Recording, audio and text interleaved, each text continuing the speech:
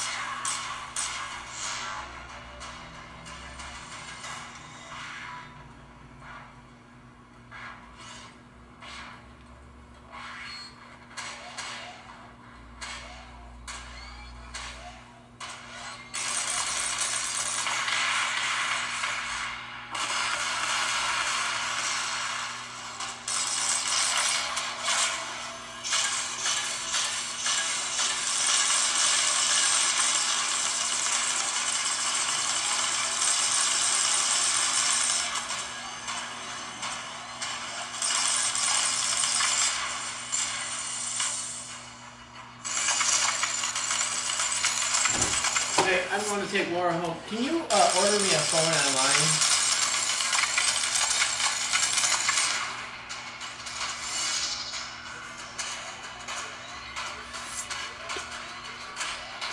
What time can I get that?